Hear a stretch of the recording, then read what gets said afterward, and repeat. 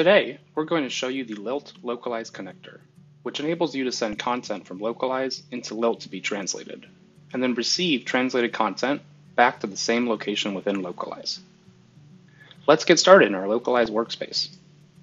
And here, we'll make a new project. For the purpose of this example, we'll call this project Lokalise Lilt Translation. And we'll be translating from English into Spanish and we'll be using a .string file. With our project created in Lokalise, we'll upload our content. I'm going to drag a .string file into the uploader. And it correctly detects that English is the source language, so I'll click Import. One file was added. Let's take a glance at the Lokalise editor.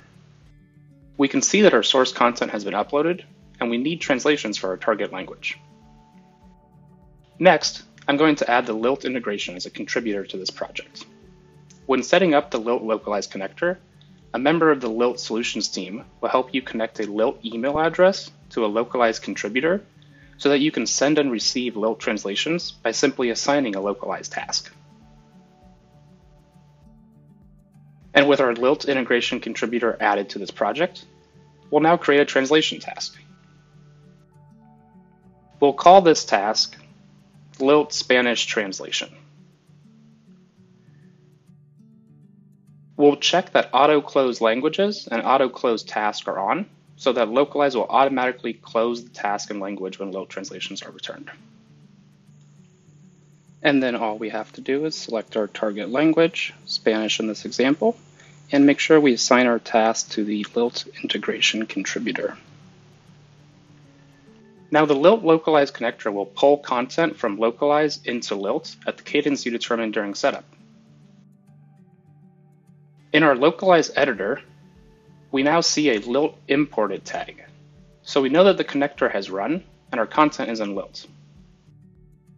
Here's the content that we assigned to Lilt in Lokalise. Normally a Lilt translator would go through each segment of this document and translate each segment word by word with the assistance of machine translation suggestions. In the interest of time, we'll move through this translation quickly. Similarly, another human linguist would normally review and approve each translation, but for the sake of time, we'll omit the review process here. When our translation is complete, we'll navigate back to the Lilt project and update the project status to Done. The Lilt Lokalise connector automatically runs when a Lilt project is updated to Done and sends the translated content back to Lokalise. In the localized editor, we now see our translated content and a Lilt imported tag. Looking at the task, we see that it was automatically completed when the connector delivered the translation. When we go look at the localized project, we also see that our target language is completed and ready for its next step in the workflow. And that completes our overview of the Lilt Lokalise connector, which allows you to send content from Lokalise into Lilt to be translated, and then receive translated content back to the same location within Lokalise.